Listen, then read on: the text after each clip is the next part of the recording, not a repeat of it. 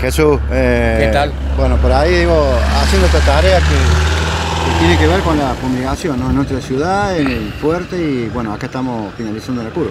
Estamos finalizando. ¿Qué tal? Buenos días primero. Eh, muchas gracias a vos porque siempre eh, está en, en todos los trabajos que realizamos. Y bueno, eh, sí, con, con toda la bulla que hay del problema de los mosquitos, entonces en forma preventiva ya habíamos hecho una fumigación hará unos 20 días y hoy estamos haciendo una fumigación en toda la ciudad de Rollito y como también pertenecen a Rollito, el Fuerte del Sitio y la Curva.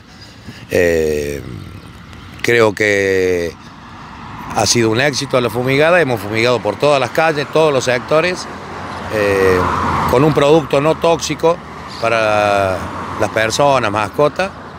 Y bueno, y ahora finalizamos acá en la curva y nos dirigimos hacia tránsito.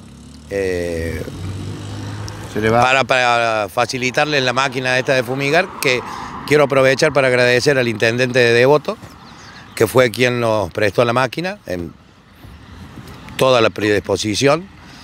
Y bueno, y también se la prestó a tránsito. Y también quiero agradecer a los muchachos que han estado realizando esta tarea, más allá de que por ahí hago la nota yo, pero los que trabajaron No, sí, fueron Diego Bozana, Diego Bozana y Jorge Sánchez. Eh, Diego Bozana, chofer, eh, Jorge Sánchez, el que manejaba toda la aparatología de la fumigada. Eh, bueno, agradecerte de nuevo por la nota y Digo, Jesús, por ahí digo, lo comentaste antes, yo escuché justo una conversación, ya está en la idea de fabricar una.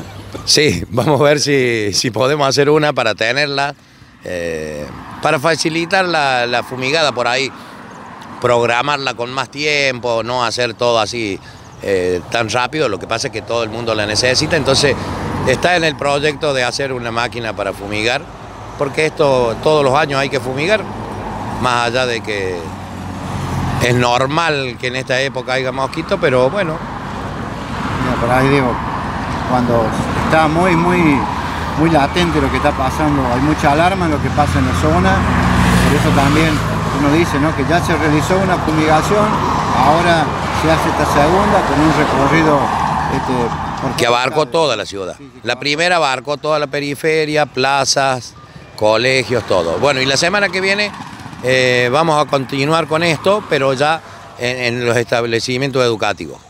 Eh, Jesús, como siempre, gracias. No, gracias, el agradecido soy yo, gracias a Fernando como siempre.